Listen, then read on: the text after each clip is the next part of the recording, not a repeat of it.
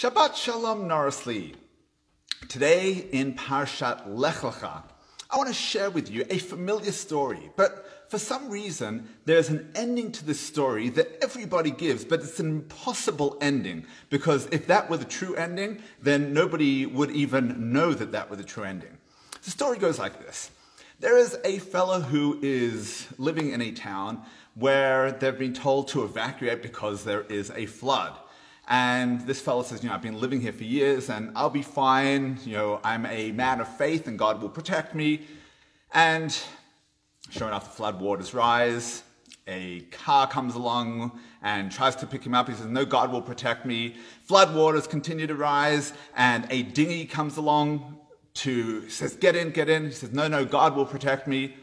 Finally, the flood waters are really high. He climbs up to the roof and a chopper says, grab on, we'll, we'll save you. He says, no, no, no, i will be fine, God will protect me. Anyway, at this point, the story goes that he dies. Now, that's not a very likely story because if he died, how would we know the end of the story? So what in fact actually happens is that he wakes up in hospital, spluttering, and he says, how, how did I get here? And they say, look, mate, you know, you you're very lucky to be alive. You almost died. I mean, we found you. We thought you, were, you drowned, uh, as search and rescue, and we managed to resuscitate you, and here you are. I mean, it's, it's a miracle. He says, wow, wow, you know, wow, I knew God would protect me. So in this week's Parsha of Lech Lecha, we have a number of seemingly bit characters that go along with the journey of Lech Lecha, go for yourself. God says to, to Avram and Sarai, leave your land of Haran, go off to the land of Canaan. And they have these characters that seem to be with them or join them along the way, and we're not quite sure what they're doing there. The first one is Lot. So Lot is Avram, Avram's nephew, and he's there. And our sages have to tell us what he's doing there.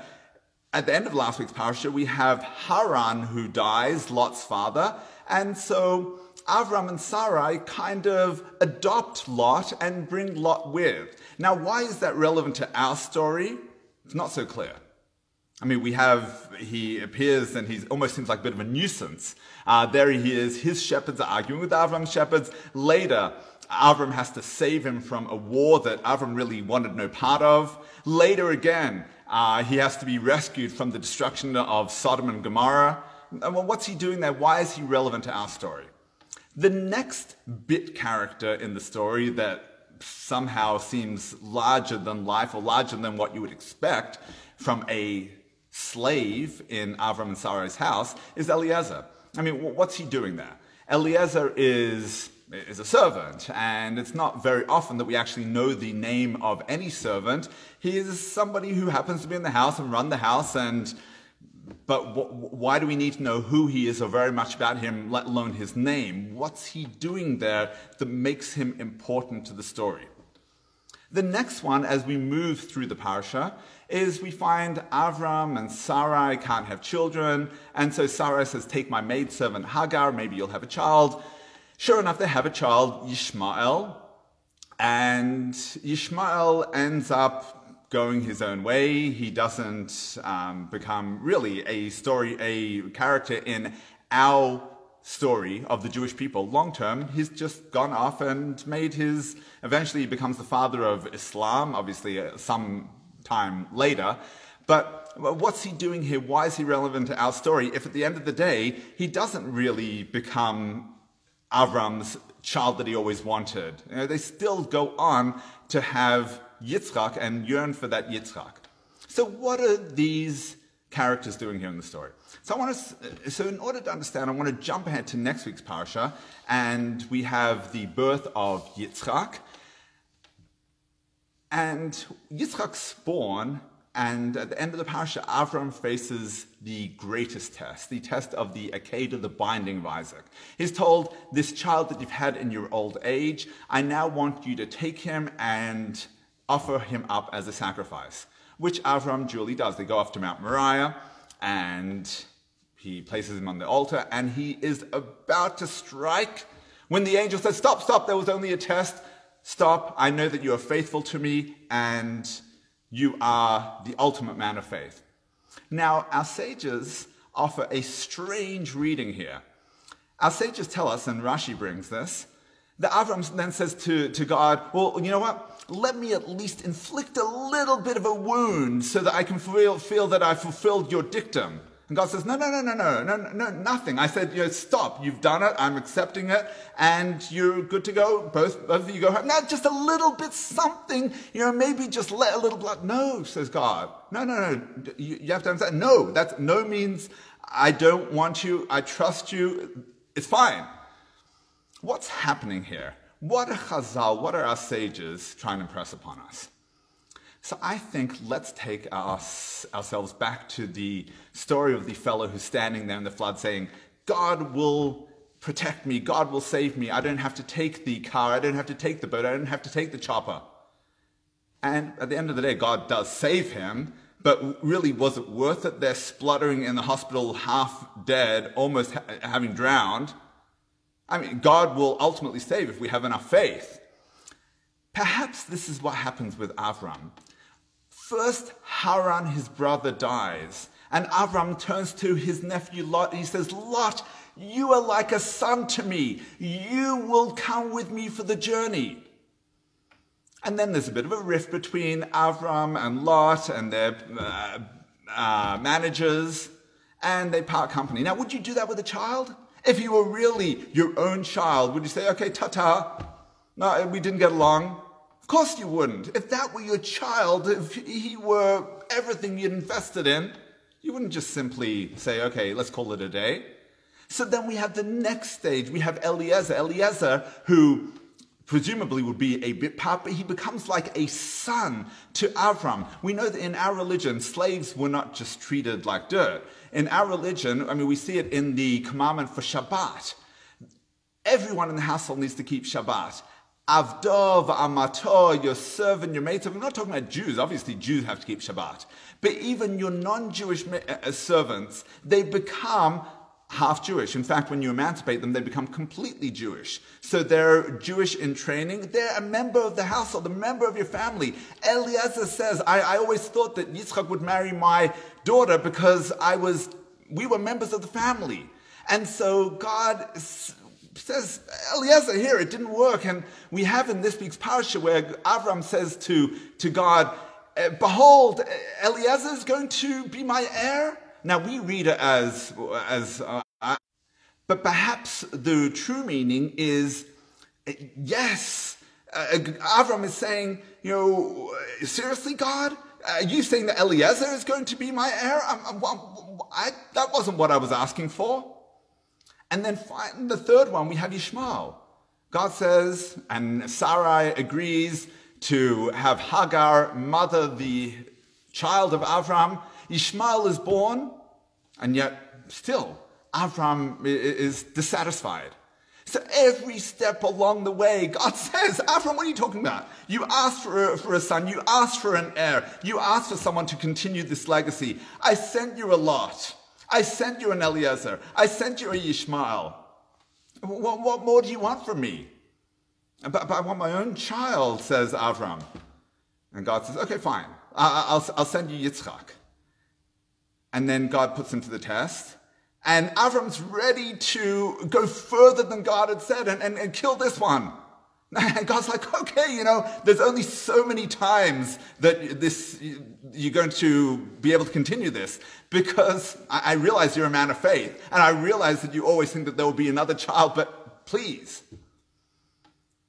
Because when we have faith, like Avram, there's always going to be a solution. You're always going to know that God will carry you no matter what.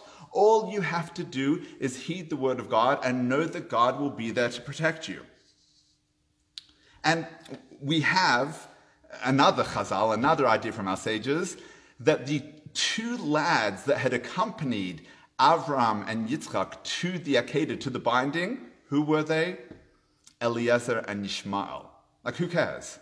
What difference does it make that it was and Ishmael? Answer is, what our sages are telling us is that they are there in the background. They are there as part of the context. They're there as the story to tell us who is Yitzchak, what's happening now, and uh, why is Yitzchak a different ending to the story than the other two. You know, we've been through a bit of a rough patch uh, in this country, apart from Corona, uh, over the last year. Last December, the 12th of December, to be exact, the 14th of Kislev, we did not know the future of our people in this country.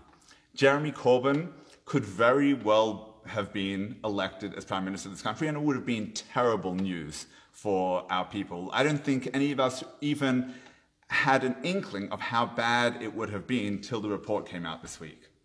And now that the report came out, what was his response? Remorse? Not even remorse. His response was that it was a report that was dramatically overstated for political purposes. Thank God the Labour Party now has a wonderful leader in uh, Sir Keir Starmer, and the Labour Party has rejected, taken away the whip from Jeremy Corbyn and said, no, this is not acceptable. Your conduct wasn't acceptable, and now it's not acceptable either. Ta ta. So imagine what God is saying to us now. God says, My people, my children, what are you looking for? When will you acknowledge that this is the Almighty's hand? I made Corbyn lose the election. I deposed him from the Labour leadership. I produced the report that disgraced him and his legacy. I've now taken the whip away from him. What more do you need to see that I'm in control? How do I show you my hand, says the Almighty, that you should have the ultimate complete faith in me? At what point do we recognize that this is miraculous? I say it's the 14th of Kislev because this is coming up. We're almost a year uh, since the election.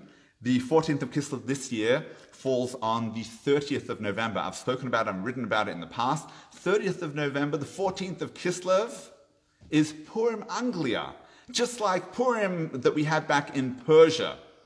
There were many Purims that have been celebrated by communities across the globe for little miracles that they experienced. This is a great miracle. This is a great miracle that we need to remember and recall and acknowledge and have gratitude to the Almighty and tell our children and grandchildren about for generations. The 30th of November this year, the 14th of Kislev, Purim Anglia. I invite you, please celebrate with me this year. It may be a virtual celebration, but it's a celebration, it's a recognition that the Almighty is in control. And friends, in every aspect of our lives, there are two things that you need to know throughout your life. Number one, you need to recognize that God is in control. You need to recognize God's providence. You need to recognize that God is leading you every step along the way. But number two, no matter whether you recognize it or you fail to recognize it, God is your Father, and He will continue to send miracles into your life. He will send you that car. He will send you that boat. He will send you that, that chopper. And if need be, he will send you that search and rescue to revive you even when we make the wrong decisions and fail to recognize the Almighty's hand. May you recognize the miracles throughout your life, and may our Father in heaven continue to guide you every step of the way, no matter uh, the decisions we make for better or for, or for worse. Shabbat Shalom.